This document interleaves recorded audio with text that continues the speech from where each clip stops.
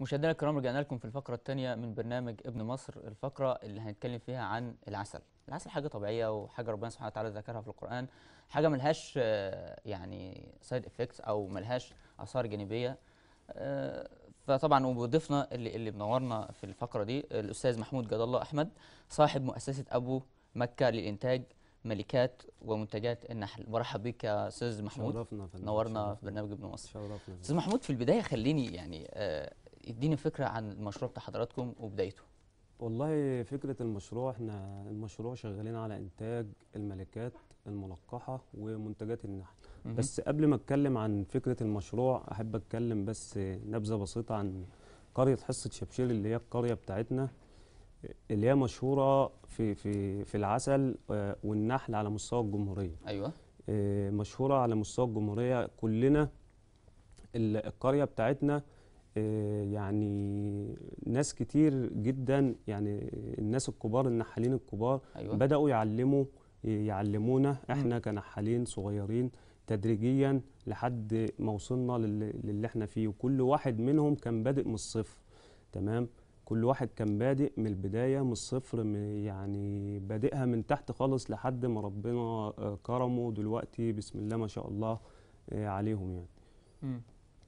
طيب يعني أصلا في ال- القرية أو المكان بتاع حضراتكم فيه ال- ال- الحاجة دي المجال ده كتير يعني آه قريتنا مشهورة على مستوى الجمهورية آه في مشهورة على مستوى في مجال في النحل. إنتاج العسل والنحل آه آه. وتصدير ال- الطرود مم. للسعودية تمام تمام آه طبعا عندنا ورش كتير شغالة برضو في في البوكس اللي هي بتاعة التصدير. تصدير النحل عندنا عمالة عمالة كتير جدا مفيش بطالة عندنا في البلد. الحمد لله البلد بتاعتنا متكاتفة متكاتفة جدا. كل كلنا بنقف جنب بعض. إيد واحدة. إيد واحدة. آه. تمام؟ فدي كانت نبذة بسيطة. آه، المشروع بيعتمد على الأساسي على إنتاج الملكات الملقحة والعذارى مم. يعني إيه ملكات ملقحة؟ أولا أيوة. ملكات ملقحة يعني ملكات تم تخصيبها. تمام. تم تخصيبها تمام عن طريق. في منطقة آه، تجمع الذكور تلقيح من الذكر في منطقة تجمع الذكور. تمام. آه، تمام. آه، فهي دي فكرة المشروع. طبعا شغالين برضو على العذارة الغير مخصبة. الملكات الغير مخصبة. الملكات الغير مخصبة طبعا بتكون للنحال. النحال المستهلك اللي هو بيستخدمها مننا بتبقى فئة معينة النحالين مم. أو المصدرين. تمام. تمام؟ مهم. ولكن النحال أكتر لأن عندنا في تصدير للنحل بصفة مستمرة. تمام. عندنا دايما في تصدير. مم. تمام؟ آه، فالنحال بيطلع الملكات بتاعة النحل بتاعته تمام؟ فبالتالي بياخد مكانها عذارة. في الوقت اللي بيكون فيه موسم آه، مهم. كويس للتلقيح جو مناسب آه، مفيش وروار الدنيا كويسة فبيبدأ ياخد آه، ملكات غير ملقحة. طيب لو رحنا آه، لدورة النحل أو دورة حياة النحل لو هتكلمنا عنها. لو هتكلم عن دورة حياة النحل آه، باختصار. وأهم أعمال طائفة النحل. تمام باختصار دورة حياة النحل بتبدأ من البيضة أيوه. تمام. ال- الملكة طبعا بعد ما بتخصب هي الملكة اللي بت آه الملكة هي أساس البيض. الخلية. مم. ملكة أساس الخلية. تمام. تمام. بتبيض آه، في البرواز آه، بعد بعد مرحلة البيض ب- بتبدأ مرحلة اليرقة. اليرقة. اليرقة. تمام. اللي هي آه، بعد ثلاث أيام بتبدأ اليرقة. بت- بتقعد من من سبعة أيام أيوه. لثمان أيام. تمام. تمام. بعد كده تبدأ بقى آه، فترة الحضنة. بعد كده النحلاية النحلة بتبدأ تطلع. بعد 21 يوم فترة آه، آه، فترتها من يرقة آه، من بيضة لحد ما, ما تخرج. آه. طيب إزاي بتنتج ملكات النحل وأهمية الملكة في في الخلية؟ إنتاج ملكات النحل مم. أول حاجة بعملها إن أنا بختار السلالة اللي أنا هشتغل بيها. تمام يعني باجي النحل أهم. أهم نقطة السلالة. لازم السلالة آه آه، بنزل مثلا وليكن وإحنا طبعا الحمد لله بنحاول إن إحنا بن- بنجتهد إن إحنا إحنا معانا نجيب أفضل الشاشة. السلالات آه، ممكن تعلقنا عليها آه، والله أهي. الصورة اللي فاتت ده ال- صورة الإعلام بتاعتنا لا الصورة اللي هنا على يمين حضرتك إيه دي إيه بقى اهي لانا ده ده خلي شايف كويس. لا هي أيوه دي دي إيه دي بقى؟ ده ده, ال- ده مكان المنحل ده مكان آه مكان مؤسسة من ضمن الأماكن اللي طب عندنا. آه طب النوع ده إيه بقى؟ يا ريت نعمل زوم بقى دي, دي ممكن. لسه طالعة يمكن إيطالي. دي إيه؟ دي إيطالي. إيطالي. أنا مش آه مش مش واضحة قوي مش الصورة. واضحة أوي. طيب ممكن نغير آه، الصورة بعد إذنكم؟ طيب آه في صور تانية؟ طيب دي قلنا ماشي دي اتكلمنا عنها. ودي كمان. طيب دي بقى؟ إيه إيه إيه الحاجة اللي انت كنت ماسكها في إيدك؟ لا ده ده برواز برواز شام أبيض ده ده كنا في موسم الموالح. أيوة. عسل الموالح فأثناء فحص ال- الطائفة يعني. آه ودي بقى الطائفة. دي ده أي, أي نوع من ال- من النحل ده؟ إيطالي؟ ده, ده مش مفيش zoom يا جماعة عندكم؟ لو مفيش zoom غير الصورة بعد zoom طيب ده خلية النحل اللي أنا بشتغل عليها أيوة. يعني صورة الخلية مهم. تمام آه، طبعا آه، التصدير باخد نوايا من الخلية مم. باخد برواز حضنة مفتوح تمام وبرواز فاضي وبنزل العذرة بتاعتي العذرة المنتخبة اللي أنا آه، يعني بنقيها من من أنظف خلايا آه. موجودة عندي في النحل تمام. سلالات نقية تمام وببدأ أطعم منها طب نرجع لنقطة ال ال ال ملكات النحل فممكن تكلمنا باستفاضة عن الملكة دورها إيه أكتر في ال في ال في الخلية هي ملكة النحل هي الأم هي اللي بتضع البيض مم. هي المسؤولة عن كل حاجة في الخلية تمام تمام آه، أنا حابب بس أتكلم عن إزاي إن أنا بنتج الملكة إزاي إن أنا طب ماشي. بنتج الملكة إنتاج في ناس الملكة نفسها قبل آه قبل الملكة الملكة ما الملكة تنتج. الغير ملقحة لأن في ناس كتير آه. جدا آه، نحالين كبار آه، برضو لسه ما يعني مم. النقطة دي في حاجات نقص ناقصاهم في الحتة دي مم. تمام آه، طبعا آه، يعني ناس كتير على دماغنا وهي اللي معلمانا أصلا ال- المهنة دي تمام بس لو حاجة بسيطة أقدر إن أنا أفيد بيها حد ف فهتكلم فيها يعني طيب الس- حاجة اتفضل، أول اتفضل. حاجة أول حاجة بنعملها إن إحنا بنيجي إيه، نيجي على خلية كويسة أيوة. بنيتمها تمام تمام هي عدة طرق ليها ثلاث طرق بس أنا باختصار هنقول طريقتين مثلا. باجي ماشي على خلية كويسة معايا فبيتم الخلية دي إزاي بيتمها؟ إن أنا بنزع منها الملكة باخد منها نوايا. آه. برواز حضنة تمام وبرواز عسل. تمام. ويتم الخلية وقفها على برواز مفتوح وبرواز مقفول وبرواز حبوب لقاح وعسل. آه. وبعد كده بنزل برواز التطعيم الكلام اللي أنا بتكلمه ده أنا بكلم أخويا النحال هو فاهمني فاهم فاهم. أنا بقول إيه طب لو. حابين نشرح بقى للمشاهد البسيط اللي عايز يتعلم من حضرتك.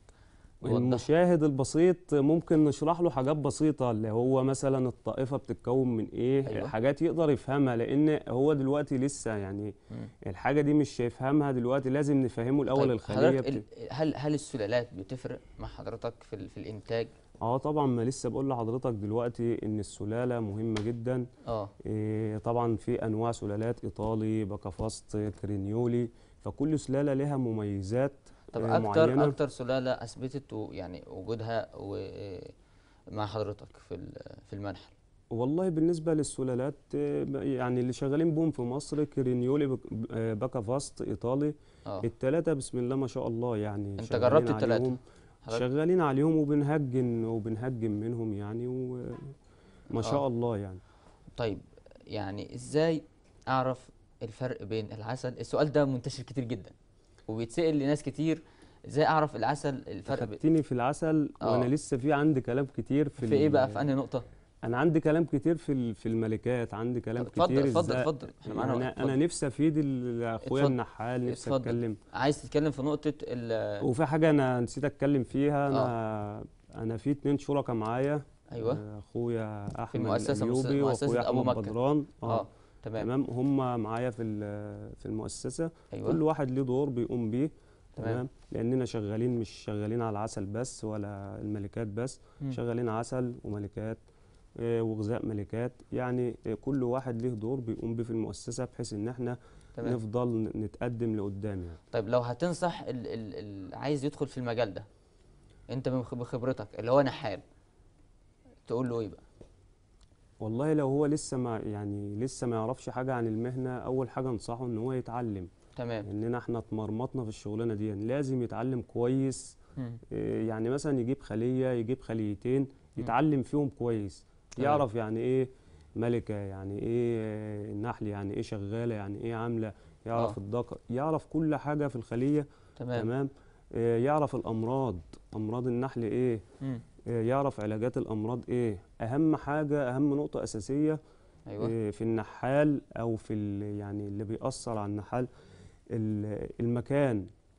المفروض. اختيار المكان المناسب يعني ما اروحش اودي النحل في ال- يعني أول أول نقطة إن. هو ينزل يشتغل. آه اختيار ياخد ياخد الخبرة. بعد كده ياخد يختار الخبرة يختار المكان المناسب. تمام. المكان المناسب اللي هو هيشتغل فيه هيحط النحل فيه. تمام. تمام. ما ينفعش إن أنا أروح أرمي النحل مثلا في صحراء وأرجع أقول ده النحل ما بيجيبش الملكات.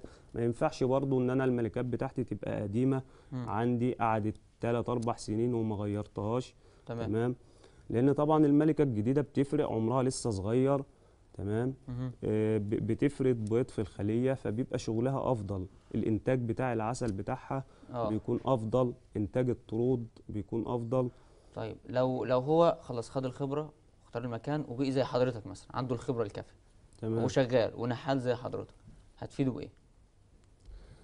ما هو اللي أنا اللي أنا بقول لحضرتك إن أنا ممكن آه، أخويا النحال اللي أقدر أفيده دلوقتي هو إحنا عامة دلوقتي. يعني لحد النهارده كلنا بنتعلم أكيد طبعا وهنموت ناقصين علام كمان يعني طبعاً. المجال ده بالذات صح. أي واسع مجال- جدا أي مجال أي مجال في الدنيا ال- المجال ده بالذات واسع جدا.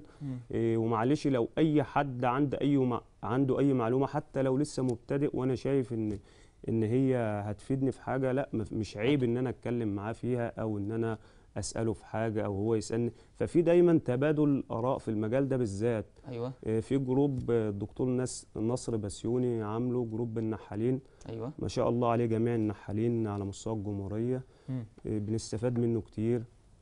حاجة يعني كويسة جدا. بنعرض عليه منتجات بيتعرض عليه آه، جميع المنتجات التصدير الكلام ده.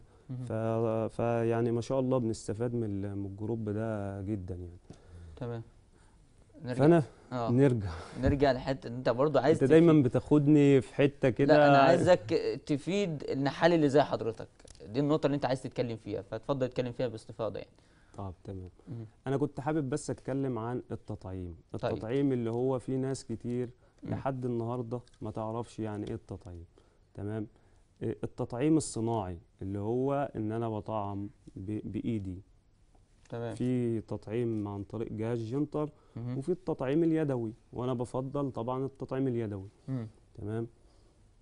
إيه غير طبعا ال ال اللهم صل على النبي إنتاج الملكات برضو عن طريق ال- البيوت إن أنا بسيب الخليه تربي عن عن طريق التربية. تمام. الخليه تربي وتطلع الملكة بتاعتها بس طبعا ده ده بيبقى فيها مشكلة لأن لأن النحل بيربي على يرقات عمر كبير. آه. تمام؟ فبالتالي الملكة هتطلع آه، غير غير مخصبة مش هتخصب كويس تمام. غير مكتملة غير مكتملة النمو تمام؟ آه، وفي برضه ملكة الإحلال بس ملكة الإحلال بتكون كويسة جدا لأنها النحل بيربي على يرقات صغيرة تمام؟ مم. طيب لو في صور كده ممكن آه، ف يعرضها لنا ال- الإعداد؟ طب إيدي بقى أو تعقيب حضرتك. أنا عايز أكمل الكلام اللي أنا بتكلم طيب فيه بعد أستاذ الإعداد. نأجل الصور شوية؟ اتفضل. معلش. اتفضل. خلينا بس نتكلم في النقطة اللي أنا ماشي تمام، فيها اتفضل. دلوقتي. آه معلش باختصار تاني نرجع تاني لموضوع التطعيم. إحنا قلنا هنختار خلية آه. آه في النحل. خلية تكون عدد الشغالات فيها آه كبير بكمية كبيرة. هوقفها على برواز حضنة مفتوح وبرواز حضنة مقفول وبرواز عسل. تمام. تمام؟ بعد كده هنزل البرواز التطعيم بتاعي. برواز التطعيم طبعا يا جماعة لازم أحط فيه أحط في الكؤوس آه. كؤوس الشمعية. سواء كانت الكؤوس الشمعية أو الكؤوس البلاستيك بحط فيها مية وأسيبه في الخلية لمدة يوم الخلية اللي أنا يتمتها. تمام؟ وبرجع تاني. معلش أنا عارف إن أنت ممكن تكون مش لا، لا، م- اتفضل، مش اتفضل. واصل الكلام اللي بتوجه بقوله بس أنا بوجه لل- آه. للنحالين للنحالين تمام. هم يعني فئة كبيرة جدا دلوقتي في على مستوى تمام. الجمهورية. تمام؟ فبنحط البرواز في في الخلية اللي إحنا يتمناها لمدة يوم. ونيجي تاني يوم نطعم. تمام. نطعم الخلية. طبعا بن زي ما إحنا اتفقنا إن إحنا أهم حاجة إن إحنا نختار السلالة السلالة الكويسة اللي إحنا عن طريق حضانتها كويسة غير ميالة للت... ما تبقاش ميالة للتطريد لأنها هتحمل نفس صفات الأم لو أنا طعمت منها. وهي كمان هت... هتيجي ميالة للتطريد. فطبعا بنتلاشى اللي هي الميالة للتطريد. آه، منت... يعني إنتاجها في العسل يكون كويس تمام؟ فبال... وبعد كده نبدأ نجيب منها برواز مفتوح تمام. عمر يوم. يرقات عمر يوم وابدأ اطعم منها. طيب. يعني معلش يعني ما بقاش اليرقات دي يا دوبك ما بقاش شايفها كده شايفها أنا بالعافية. طيب ليه؟ معلومات. عشان الملكات أيوه. عشان الملكات تطلع كويسة ملكات تطلع حجمها كويس إيه، ملكات تبقى متميزة في شغلها. تمام. تمام؟ والنحال يترضى منها. طيب تمام. معلومات قيمة جدا وأكيد أكيد كل اللي بيتفرجوا علينا ان حالين أو المشاهد العادي. أكيد استفاد من حضرتك يعني اتكلمت في كذا نقطة في الموضوع وإن شاء الله يبقى لنا حلقات تانية كتير يعني نتسع أكتر في الموضوع. يعني وبشكر حضرتك جدا وبشكركم. مشاهدينا الكرام وللأسف وقت حلقتنا انتهى ويا ريت الحلقة تكون نالت إعجاب حضراتكم ويا ريت تبعتوا لنا على بيتش البرنامج آه، مشاكلكم واقتراحاتكم أي حاجة عايزين نتكلم فيها في الحلقات الجاية. وإن شاء الله نلتقي في حلقة في حلقة جديدة من برنامج ابن مصر. والسلام عليكم ورحمة الله وبركاته.